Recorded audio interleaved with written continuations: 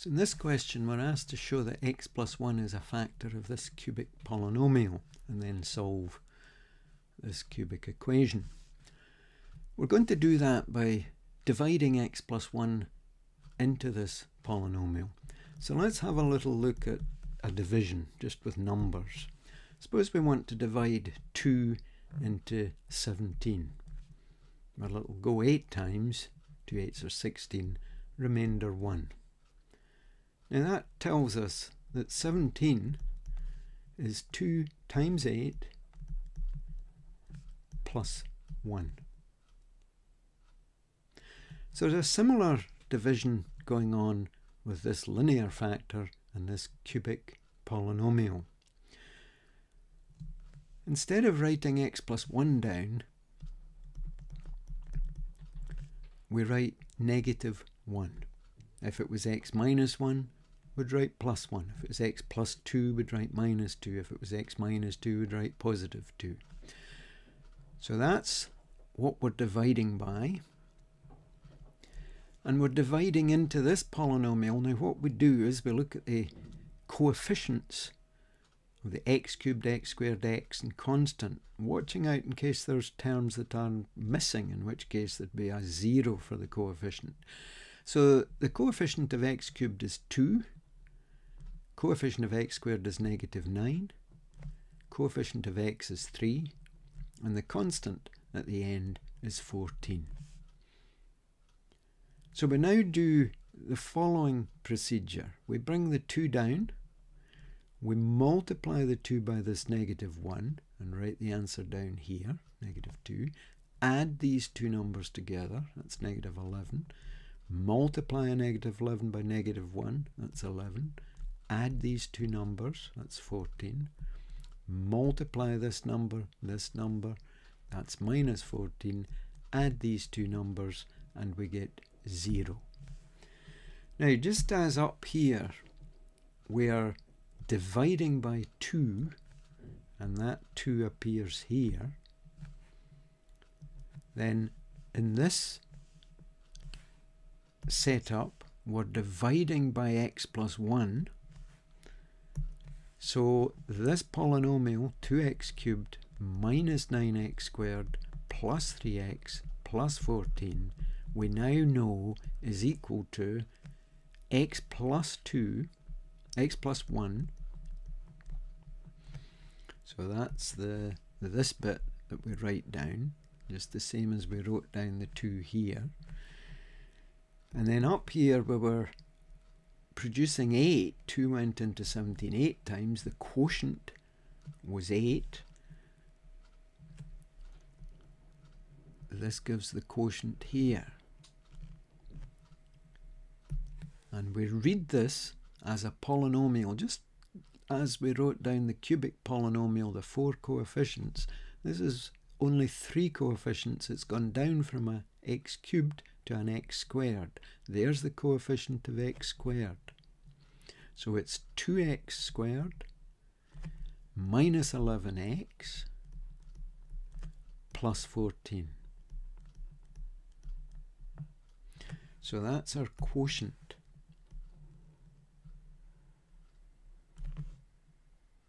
And then the final bit of the procedure is this remainder 1.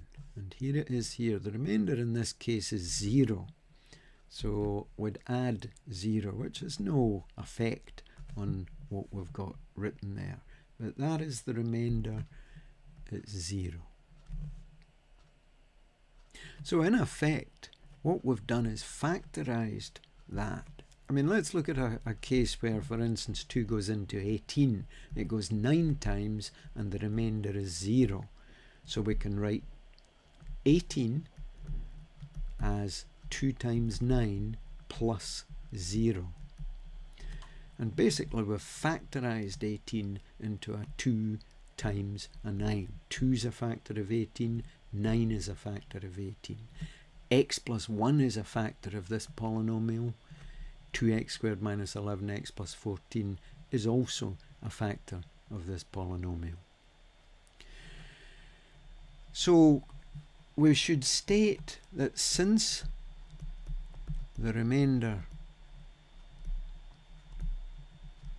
is 0, that's this here, then x plus 1 is a factor of the polynomial. That's 2x cubed minus 9x squared plus 3x plus 14. So that's part A. Let's move on to part A part 1. Let's move on to A part 2. Hence solve that equation. So we've got 2x cubed minus 9x squared plus 3x plus 14 equals 0. And this cubic expression is the one that we've just factorized. So let's replace it by what we've discovered about the polynomial. Now we can go further than this. Let's look at this factorization of 18, 2 times 9. You'll notice that 9 can be factored further as 3 times 3. Probably this quadratic can be factored further. If not, then fair enough, it's not factorizable. But let's try it. So the firsts, this times this give us 2x squared. So 2x times x give us 2x squared. Now we're looking at factors of 14. We could have 2, 7, or we could swap these round. Let's try that. And let's look at the outside and the inside terms. If it was a 2 and a 7, the outside terms would be 2x times 7. It's 14x. The inside terms are 2x. Now remember, we're trying to get a negative 11x. That's not possible with this 14x and 2x. So let's swap these round and try the outside 2, 2x times 2, that's 4x. The inside 2, 7 times x. Well, yes, we can get a, a negative 11x from these two. They'd both have to be negative. Negative 4x, negative 7x is negative 11x. So we have a negative 7 and a negative 2 giving us a negative 4x and a negative 7x. And just check that the lasts, when you multiply negative 7 negative 2, you do get positive 14. That works out. So always check back, multiply this out, first outsides, insides, last to check you do get 2x squared minus 11x plus 14. So we've finally factorized this uh, left hand side into three factors. So something times something times something 0. One of these must be 0. So x plus 1 could be 0 or 2x minus 7 could be 0 or x minus 2 could be 0. If x plus 1 was 0, x would be negative 1. If 2x minus 7 is 0, then 2x would equal 7. Therefore, x is 7 over 2. And if x minus 2 is 0, x equals 2. So hence solve that equation. Solutions are x equals negative 1, 7 over 2 and 2.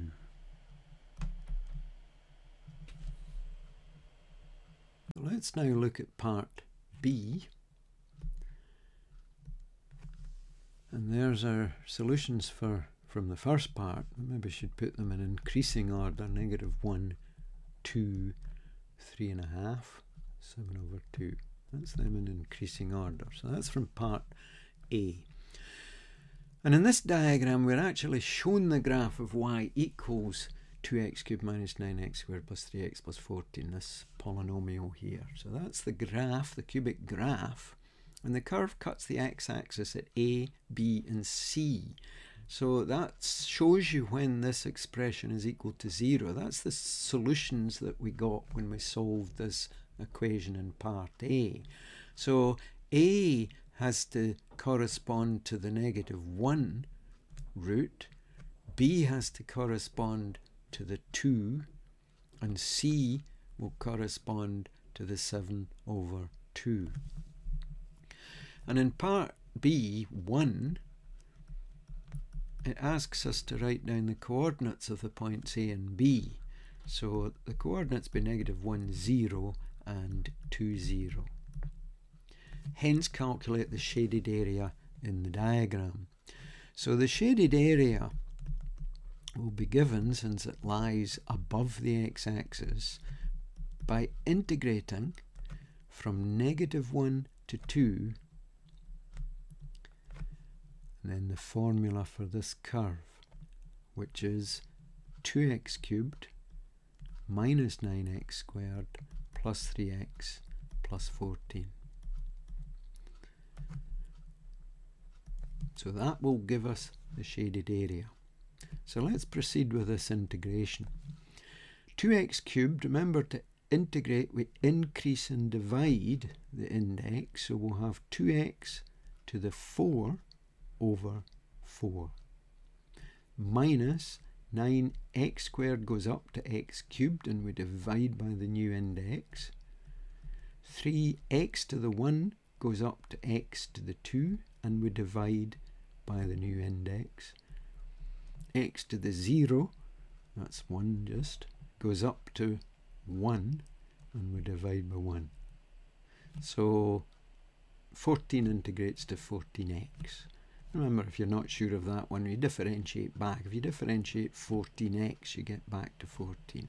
So there's our integration, and it's between the values negative 1 and 2.